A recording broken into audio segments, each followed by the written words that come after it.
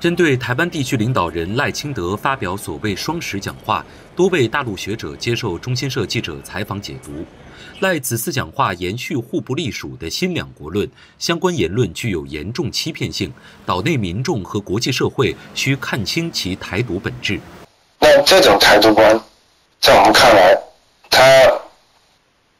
破坏了两岸的政治互信，挑战了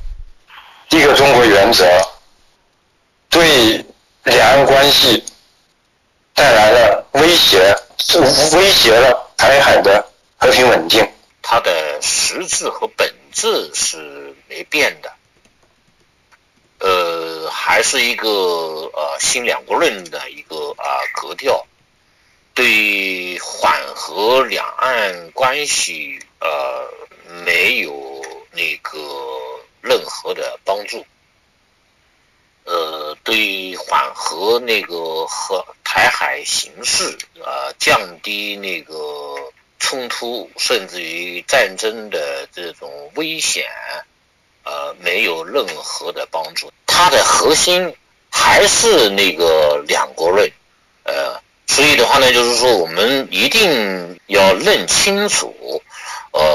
赖清德的一个台独的真实面目，他依然还是一个呃务实的台独工作者，是一个呃顽固的。啊，台独分子。两岸关系和平发展协同创新中心主任、厦门大学台湾研究院教授刘国深指出，赖清德双十讲话和其前几日的祖国论，都是打着中华民国的旗号，包装分裂国家的图谋。其实，对于两岸关系来说，那是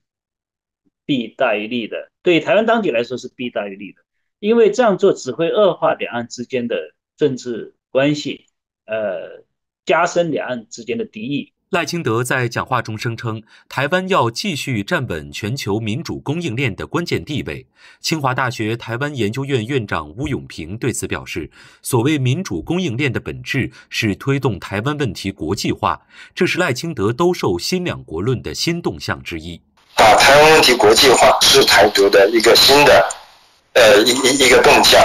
这是赖清德从五二零开始。”极力强调、强化的一点，五二零之后，利用各种场合，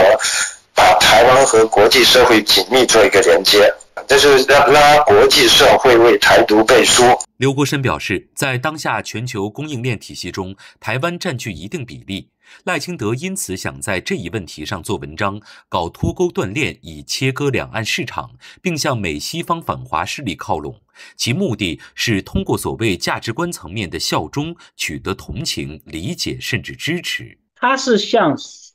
那个美国有些反华势力那个靠拢去取暖，呃，试图通过这样的一些。呃，效效忠表白啊，加入什么那个全球民主供应链呢？等等，取得一些同情或者是理解，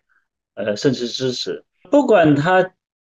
的新两个论也好，或者是所谓的全球民主供应链也好，这是他一厢情愿的他的一一个认知，他的一个主张。国际社会其实，在大陆跟台湾是一个国家，这问题上是有一边倒的共识的，但是它是没办法在国际主流社会上被接受的。有分析指出，赖清德的双十讲话对岛内民意关心的民生议题开出许愿单，但两岸关系的动荡无异于解决缺电、缺水、缺人等台湾社会的深层次矛盾。他这个讲话应该来说，对台湾的那个老百姓，甚至于某一些政党人物，都具有欺骗性和蒙蔽性。台湾民众他就是说，不想再去过这个五缺七缺那种日子，还是想过这种和平安定，呃，福利有增长。前途有奔头的这种好日子，但是赖清德上来之后，他并没有做这些事情，反而就是说不断的在两岸挑事，呃，让那个台湾处于这种动荡不安当中。那老百姓当然不支持他。经济民生是台湾民众高度关切的议题。刘国山指出，赖清德当局目前不能在原则框架上改变其两岸政策，何谈改善岛内民生？若其真心推动台湾社会向前发展，应谋求和平稳定的两岸环境，推动两岸相向而行，相互扶持，共推经济社会繁荣稳定。那么，我们希望那个民进党当局要回归理性，而不是一厢情愿的要分裂国家，要把两岸朝两国的方向去推动。这样是缘木求鱼，不可能得逞的。